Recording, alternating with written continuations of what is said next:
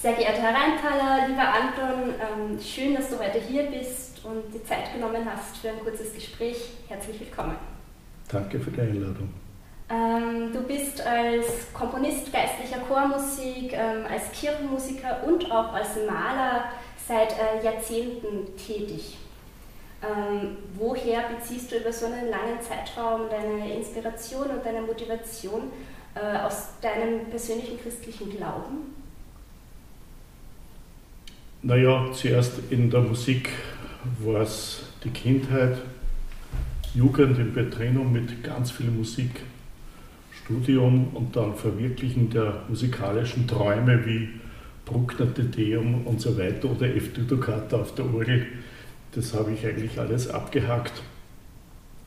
Und äh, Bilder haben mich immer schon inspiriert, äh, interessiert. Mein Onkel war Maler, der ist vor 50 Jahren gestorben und äh, es dürfte da einiges hängen geblieben sein, habe auch mit der Malerei erst richtig vor über zehn Jahren begonnen und habe mir da, glaube ich, äh, sehr viel selber geholfen durch meine Malerei, durch viel gelbe Bilder und so weiter.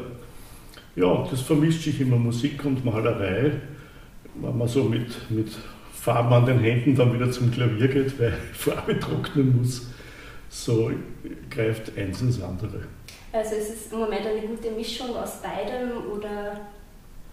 Ja, das ist je nach äh, Bedarf einmal das mehr, einmal das andere mehr, wie es dazu kommt. Okay. Ähm, wir haben bei unserem Gründungskonzert im März äh, auch ein Stück von dir uraufführen dürfen.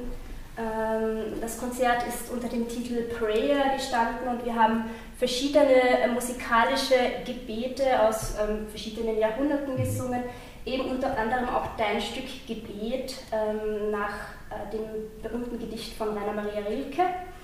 Und dieses Stück ist äh, eigentlich zu einem der absoluten Lieblingsstücke meines Chores geworden. Freut mich. Und ähm, ich habe mich dazu entschlossen, auch äh, bei unserem nächsten Konzert am 24. November unter dem Titel Totentanz eines deiner Stücke aufzuführen, äh, nämlich äh, ein Stück aus dem Zyklus Totentanz, den du 2013 komponiert hast.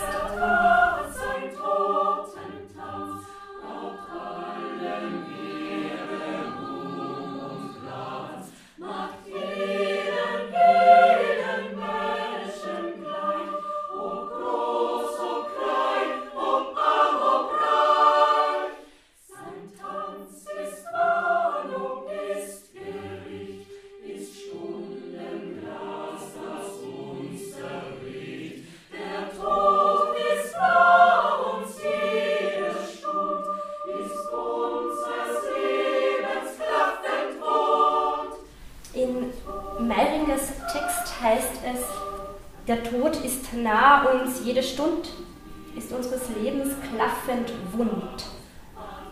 Memento mori, denk dran, Mensch, dass du sterben musst. Das war ein Gedanke, der in, in der Zeit des Dreißigjährigen Krieges, als die Pest äh, viele Menschen dahin gerafft hat, ähm, zu der Zeit war der Gedanke omnipräsent.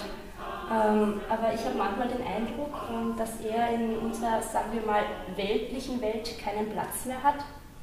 Wie siehst du das? Ich glaube eher umgekehrt. Angefangen in Krimis, wo immer natürlich einer stirbt am Anfang, bis zu den Meldungen aus der ganzen Welt, wo Menschen gemordet werden, ist der Tod eigentlich präsent. Nur in unserem privaten Raum äh, haben wir den Tod weggeschoben in die Krankenhäuser. Also ich glaube, er ist jetzt mehr präsent, aber in einem gewissen Abstand zum Menschen finde ich. Äh, lieber Anton, ich danke dir, dass du die Zeit genommen hast für dieses kurze Gespräch. Und ich freue mich äh, zu wissen, dass du am 24. November im Publikum sitzen wirst, wenn wir dein Stück aufführen werden.